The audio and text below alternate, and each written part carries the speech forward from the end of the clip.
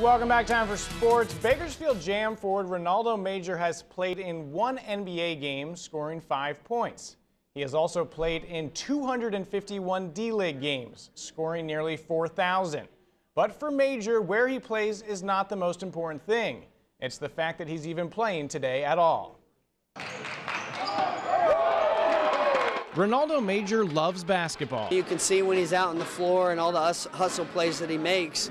Uh, you know, it's really a catalyst for the rest of our team.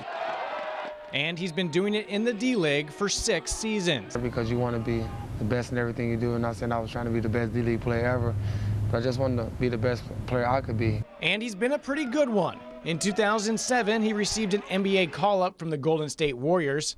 And the next summer, Major was invited to Denver Nuggets training camp. And I was talking to George Karl like the day before, and he's like, Major, just keep playing the way you playing. We really like your attitude and your character, and you work hard. And, you know, I really thought I was about to make that team. But while on the verge of his big break in the game he loves, Major found out his heart was in serious trouble.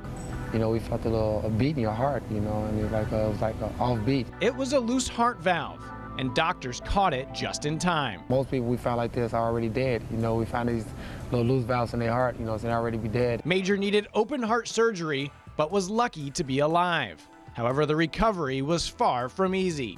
That was rough though, you know, like like I said, without my family and mainly my dad not encouraging me and building me up each day he come home from work, I'm sitting on that bed. Major missed an entire basketball season, but just as soon as his heart was healed physically, it was broken again. When we got to the airport, it was funny because when we got out, uh, every time I would leave to go, you know I'm saying, to another city or fly out, I just give him a handshake and get out the car, you know what I'm saying? But this time, he got out the car and hugged me, and I'm like, that's funny, you never hugged me, you know what I'm saying? One month later, Major's father passed away from a stroke. It was tough. It was tough because that was my best friend, and, you know, we talked a lot after the games, and he would always tell me, you know what I'm saying, play defense, rebound, don't worry about scoring. Major returned to the D-League in 2008 and has had interest from NBA teams, but so far still just the one call-up back in 2007. So now six seasons later, Major has become the D-League all-time leading scorer. Actually, my mother called me, you know I'm saying, right after the game. I normally call her. She called me and was like, I'm so proud of you, and your dad, we proud of you. And and uh, we had a moment there, you know, she had a few tears and, and, and thought about my dad, but I know he'd be proud of me. Major says he knows returning to the NBA is probably a long shot, but at 30 years old, he is nowhere near close to done.